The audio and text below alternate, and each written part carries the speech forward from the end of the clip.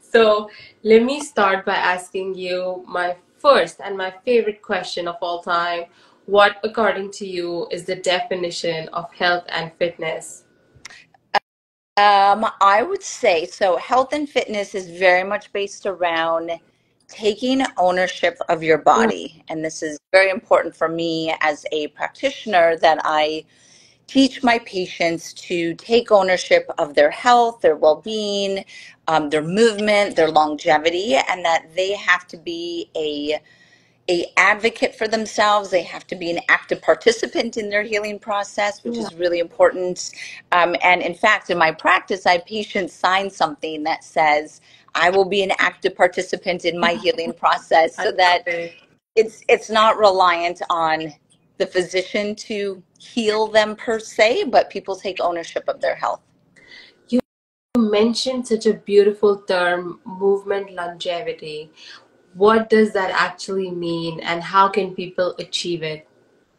So, movement longevity, so two things. So, movement longevity, literally, if you just put the words together, is that people want to move well for a very long time, right? That we want to move well when we're in our 80s, 90s, hundreds, that we can still do the activities that we love to do.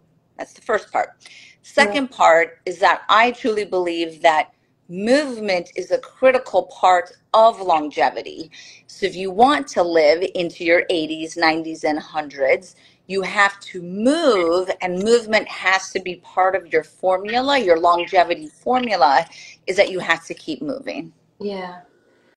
That's that's so important. I think in just um, getting a busy lifestyle in just working and focusing on work we forget what movement longevity means and we're uh, using that as, using movement and gym and just working out as a chore and not as a part of our daily routine or as a part of our own health and fitness. I think we're somewhere we're just losing or we're ignoring our own health. What do you think about um, you know that aspect? Yeah, so I'm I'm a big advocate on quality movement or quality quality in everything that we do versus quantity. It's kind of like uh, my daughter's in gymnastics, and so her coach will be like, okay, when you're practicing the skill, you want to practice perfect, right? Like perfect practice makes perfect performance, right? right. Versus you don't want to like half do something and kind of slop through things. Mm-hmm. Similar on that, that the way that we sit, the way that we stand, decisions on how we move, be very calculated in what you do. Yeah and try to make small changes so that this becomes more of a lifestyle. So, movement longevity, and essentially what you're saying is prioritizing movement, prioritizing health is a lifestyle and it requires choices that we make every day, decisions to go to bed on time. What is your sleep quality, not just your sleep quantity? So I try to bring that into everything that for myself, but then that I mm-hmm. recommend to my patients. Yeah, that was going to be my next question. How do you personally approach health and fitness? Yes, so I I mean movement is part of part of my health and wellness and fitness and mm-hmm. my longevity recipes movement. Um, it's part of my therapy is all also it's just how I find happiness and joy is in moving my body. So it's very important to me. Mm-hmm. So what I, I always practice what I preach, is what you could say on that side. So movement, very, very important. Other aspects is that I try to be very, very regimented on my sleep. I take sleep so seriously. And oftentimes people will say, like, Emily, how do you have more than 24 hours in a day? They just think that I'm constantly doing things and I have a super busy schedule. And the one thing that I do say is that of my entire day, the one thing that I'm most protective over is my sleep. Because the moment I wake up, I am like running at it and I'm like boom, boom, boom, boom. And I have to have my brain and my body at its peak performance to be able to run the companies that I do. So mm-hmm. I'm just very protective on what I do. I still have fun, still kind of bend the rules a little bit. Um, but for the most part, I try to be very smart, especially now that I'm in my 40s. Yeah. I mm. I mm. need to look at health and wellness differently than in my 30s even. You know, you don't look a day young older than 28. I swear. It just, you know, just come to New York. We'll go I clubbing. We'll do all the. girl, I'm I yes, I will look you up. I can, I can see. You know, we'll we'll uh we'll have the next whole day like a Sunday just for our sleep. So we'll focus on sleep. But Yes. then the Saturday night is going to be Yes. wild. Count it, count count me in. Perfect. Uh, that brings me, you mentioned about your company, and I know that is your baby. That's your love in your life. Uh, tell me a little bit more about Naboso and what that means to you. Absolutely. So Naboso is a sensory product line of products so that can show people. Yeah. So all of the products feature this texture, and this is a patented texture on all of our products. And the purpose of the texture on our products is to stimulate the nerves in the palm of the hand and the bottom of the feet. And by stimulating those nerves, you are increasing awareness, perception of your feet, sense of your feet, your posture, your movement. It's a great form of recovery. And then it's also really important for strength. Mhm. So the focus of the products is really foot awareness, foot strength, foot recovery. And that texture that I showed you is on the inside of socks, it's on insoles, release tools. We have training mats, we have toe spacers, which kind of fall under the foot health. But the full product line is trying to help people prioritize their foot health to make to really bring in the feet into this movement longevity story, right? So part of how we move well starts with our base, our feet, how we relate to the ground. And the Naboso products are a way that I am trying to make that easier for people or more fun. Is is is it only limited to feet and hands? Because I see that the texture is so unique and like you said, it's patented. Why would uh, you know? Uh, uh, this is my question personally. Can we introduce it to coma patients or paralysis or flaccid patients? So the Naboso products have this very powerful application in neuro rehab. Right. And that that was not the original intent when I developed them. I was thinking more fitness, performance, kind of the athletic side. Yeah. And then we started to see this benefit in MS, Parkinson's, stroke, neuropathy, and people in that category were saying, I haven't felt my feet in 10 years. I wear your socks, your insoles, and I can feel my feet again, which means I can walk confidently. And we have these really powerful effects. Also, we have seen people in the spinal cord injury, and this one fascinates me the most that people who are in wheelchairs, so they have a a lower spinal cord injury, they're in a wheelchair, and they will still put the Naboso texture under their feet and they'll be assisted if they're trying to stand up and things like that. But they'll still utilize the Naboso products even though they have a spinal cord injury, and it's amazing the response that, that the patients say. Um, really, really inspiring and, and motivating. So it's primarily hands and feet.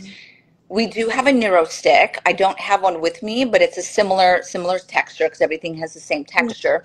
But it's on a massage stick, so you could massage all of the skin. Yeah. The intent behind that product when we developed it is that I wanted a therapist mm. who was working with someone who did have, let's say, a spinal cord injury or a stroke, that you could use the stick on their skin and essentially help them to feel their back, feel their arm, feel whatever part of the body you're trying to connect to.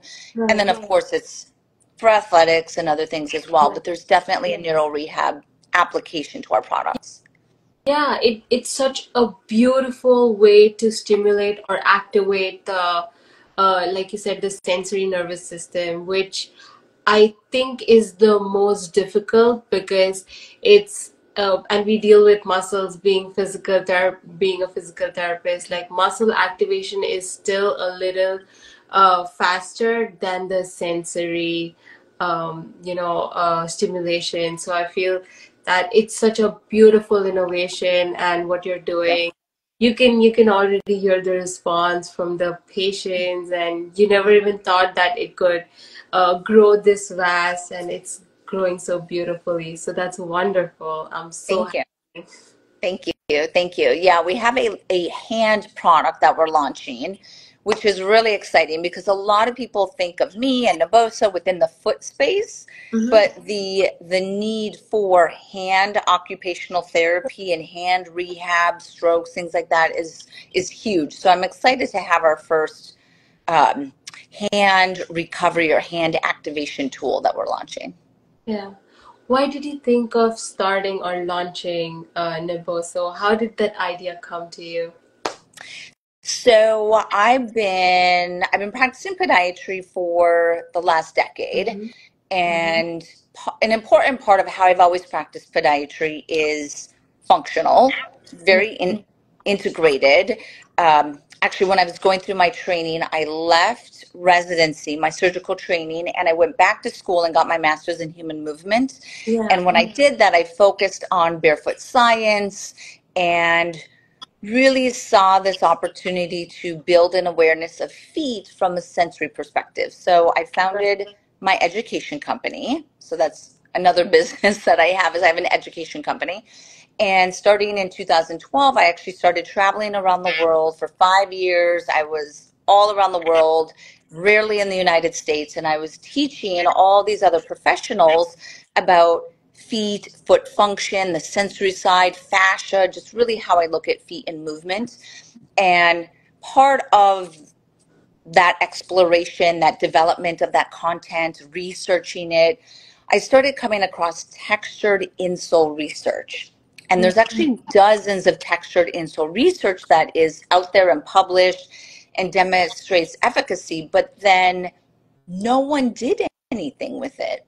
And I was like, why would you keep researching how powerful texture is if no one is going to make a product Uh-huh. for a patient or to help people like why why are we doing the research if it's not going towards something that's going to be developed Right. so i essentially took that research and then you know there was a bit of r&d in there but then i started developing and working with texture and it was really my goal to make this commercially available product that is based off of that really powerful research and then I've actually learned a lot about texture and surface science and all of this in the process. Um, that I think what I've learned through the development of Naboso has actually advanced that research even further, which is which is really, really exciting. Um, so yeah, that's how I that's how I came into it, and now here I am five years later, and it's a behemoth that I did not know it would be. Yeah. Did you have to go through like a lot of uh, textures? Because I know you have a patented texture right now for all of your products, but did you have to uh, go through a lot of research and a lot of textures? And why did you finalize this texture? What's the science behind it? Yeah, so a lot of the research that was done, the researchers would actually use random arbitrary textures like uh, like sandpaper or just random things that they would try to make a quote unquote textured insole. And that's where some of the research is inconsistent in the results because they weren't really using the correct texture. Mhm. There is then this one researcher, she's a podiatrist out of Australia, and her name is Hatton, H A T T O N. She's one of the leaders in textured research, and she did a study that looked at a pyramid pattern versus a circular pattern. And essentially mm-hmm. studied and said, well, which one stimulates the nervous system more? Oh, okay, it's a pyramid. So we have we have a pyramid Right. then by going through that and saying, okay, it's a pyramidal pattern. Now, what is the distance that the nerve stimulates? We happen to stimulate a nerve called the SA1 Merkel disc. it's Yeah. a very specific nerve on the hands and the feet, and it has what's called a spatial acuity of a millimeter. So the pyramids cannot be closer than a pyr- uh, closer than a millimeter but they also can't be too far. Otherwise, your brain is obviously not sensing that differentiation of the texture. So that's a little bit based off of understanding mechanoception. Then the other part of it, honestly, was through the last five years, we listen to our customers. We we want them to understand how it works. Do they want more stimulation? We actually started using silicone, so these other materials that will hold the pyramid. It'll actually make the pyramid a little quote unquote sharper or more stimulating, which people respond to better. So it's it's a little bit of a trial and error. Our initial insoles that we launched, we actually don't make anymore because they weren't stimulating enough. They actually had more the circular mm-hmm. texture than the pyramid. And the reason is that when we first launched them, I was like, I'm selling a product to consumers that are going to put it in their shoe and walk around this all day. If I hurt them, Right. right? Like if they get a cut, what if that cut gets infected? Like I, that's like a big thing. I was like, I need to be able to sleep at night Yeah. Knowing I'm not hurting someone. I'm, my intent is Mhm. obviously to help people. So we started very cautiously in the set in in the launch of the insoles and then gauged feedback. Okay, people are not getting blisters, we're not getting abrasions, nothing's right. And then we were able to kind of push into the texture a little bit more. Right. So now our stimulus is much higher than our initial ones. And even on our mats, the mats were softer. Now they're a little bit harder, so they're more stimulating. So sometimes I see people who have our first mats because they used to have these sayings on the top that were like, go for it, like get your dreams, like, you know, like there were motivational things that I put on the top of them. And I'll see them on Instagram and I'm like, oh my gosh, please replace your mat. It is not, it is not stimulating enough the way that Naboso is. Like, please, I will give you a mat for free. I think while I was researching and trying to find a good logo, I, I really researched your brand a lot. And I did find a few of those mats. I found it so interesting. And I could see the how you started even on mm. Instagram. And it was just such raw pictures of a few clients, of you. and then it grew, it became so much professional, in demand, and you could I could see the whole growth. So it makes me so happy just to Thank see the you. whole uh, growth in Naboso. Where do you think this is heading, and what are next on on your plans for Naboso? Yes, so we have additional products coming out. I think an important part of Naboso and really the future of texture is that we continuously demonstrate the utility of Right. texture. Like what what else could we put it on? How else could we use this texture to help an athlete, fitness, Pilates, neuro rehab, wellness, longevity, right? So what what type of products can we develop? And that's one of my favorite parts. I love the innovation side of Naboso. Yeah. So that's that's one thing that's important is that we will continuously evolve and develop. We're actually working on kind of playing with the toe spacers and we're we're making them even better, let's say, so that we can 100% stand behind our products and know that people feel confident behind them. So that's one thing. Um, we are bringing on a investor, so that will actually really help Naboso scale to the next level. Yeah. Kind of get deeper into the market, um, have more market share, have more market awareness. And then I would say the other part is just really starting to lay the foundation of not, I guess you could say like the legacy on it, because I'm I'm I can't be with, with Naboso forever, right? So I want it to grow so that when it gets to a place where there's a good, consistent growth and momentum, and maybe I step away, Yeah. that there is still that strength. So it's my goal to have texture be this known, accepted, well demonstrated, and researched stimulus to the foot, kind of like vibration. Um, that's probably the best analogy that I would give. So there's whole body vibration platforms or vibration rollers. people know that vibration is a sensory stimulus for our muscles, for our nervous system, for our hands, for our feet. And texture is actually a very similar stimulus in that space. It's, it's actually mechanoception. So vibration is a mechanoceptive stimulus. So is texture. And I would like that to essentially be just this known, well accepted. So then I can go on to another adventure. I can definitely see you, you know, uh, scaling this out. This this has been on my mind. This has been really bugging me. Why the name Naboso? How did the name Naboso came in being? Yes, so Naboso is a Czech word, or it's a, a Slavic word because it's also Polish. Okay. Um, but it is, when I chose it, was intentfully to be a Czech word that means barefoot. And part of why I'm drawn to this word is one, it means barefoot, and everything that I do is very focused around barefoot. Um, but one of my um, mentors and role models when I was starting my career. His name is Dr. Janda, Dr. Vladimir Janda, and he is the one who started short foot. Short foot is one of my favorite exercises. Most people know me for short foot. I always talk about short foot when I do anything educational. Um, and so he was a Czech physiatrist. So this is kind of my homage to him to say, okay, I chose a Czech word, yeah. means barefoot, just kind of to really hone on to that that Czech origin of really my work and a lot of the work in this foot space. Mm-hmm. Do you have to do like a lot of do you personally have to do a lot of research when it comes to uh, designing your products or launching them, the market uh, response, the feedback?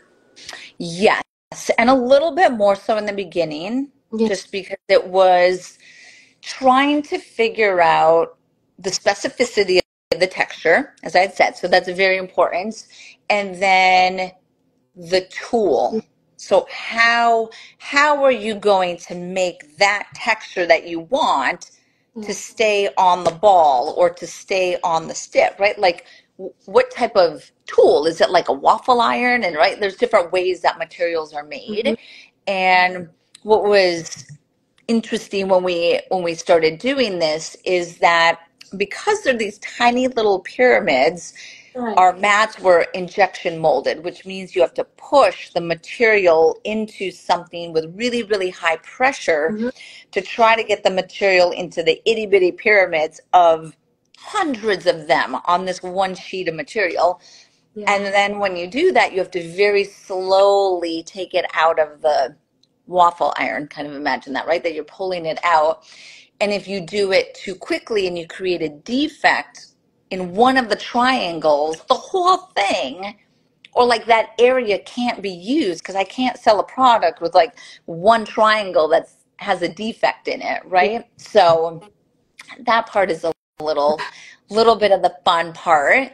Um, and then I would say the next proudest one that we came up with is our socks. And our, I absolutely love our socks. The listeners should try our socks, but they have the texture on the inside of the sock. And it took two years to figure out the manufacturing process to get the texture to essentially stay effectively in the sock and that you could wash it, you could dry it, you could use it and it doesn't get damaged. So that was that was another big one and we did that during covid which was really hard. Wow. just because we couldn't go to the factory. So that was that's one of the proudest and then we just got a patent around the sock. So i'm very excited. We have four four granted patents another eight that are pending. Yeah. That sounds awesome. Like I'm so excited just to, you know, hear all of this and I cannot wait to see um, more from Naboso. Uh, you know, yeah, definitely. I love these ideas. Um, it's so inspiring. You started from nothing and then just one texture can change the whole circuits in your brain. so magical. And you made that happen. You saw that there's nothing in the market and then you just dived into it. That's beautiful. Yeah. I, I, I love it. We have some really great partnerships that are really embracing the benefit of the texture, where we have a partnership with Vivobarefoot Shoes. Xero Shoes is another partnership. Um, Stretch Labs, which are all across the United States, Yes. we have a partnership with them. So they're actually incorporating our products into their facilities and selling them. So that's exciting. We have a couple other ones that have license agreements. So it's it's really good to see that other people are embracing this this idea Yeah. as well. Yeah. Uh, what would one last piece of advice be to everyone who's listening out there? Uh, what I would say, kind of related to the goal of Naboso, is my tip as a podiatrist to people to start to prioritize their foot health is to release their feet every day. Mhm. And we have a product, I don't have it with me, but it's called a NeuroBall. Yeah. And it's a ball that splits into two domes and it has our texture on it. And I recommend that people release their feet every morning, every evening when they brush their Mhm. teeth. Now, if you don't have a NeuroBall, totally fine. You can still do this. You could have a lacrosse ball or a golf ball, whatever it is. Yeah. Leave it in front of your bathroom sink. And then every single time you brush your teeth, either stand on it, roll, something to get a little bit of a, a TLC or a reset to your feet. We have 26 muscles in the bottom of our feet, and they play a very important role in how we balance, stabilize, hold our posture. So Mhm. they need to be they need to be loved. Yeah, uh, definitely. I did receive a neuro ball from Nabos. Uh, Gabe was so Gabby. Gabby was so kind enough to send the product. Uh, first, the product was like a return. There was some shipment issues, but she made sure that, that I got it again. And I have a few col- I have a few videos coming up. Oh, good. I yeah, I just took that uh, bulk today. That's why I don't have it. And I was like, what are the chances? I just took it today to the office, to to the clinic, and I was showing my patients around that. And we were just playing around and seeing how we're going to make a few videos with it. So uh, yes, we do have a few videos coming with the NeuroBall, which is an amazing product. And thank you so much to Gabby and yourself to, send that ball. And it was a very sweet gesture. So thank you so much. Of course. You're so welcome. Yeah. Well, I hope you have a lovely dinner, uh, and I wish we do it more. And I'm gonna have you come on live again sometime soon. Absolutely. This was really awesome. Thank you so much. Of course. Thank you so much. Have a wonderful day. You too. Okay. Bye bye. Bye. Bye.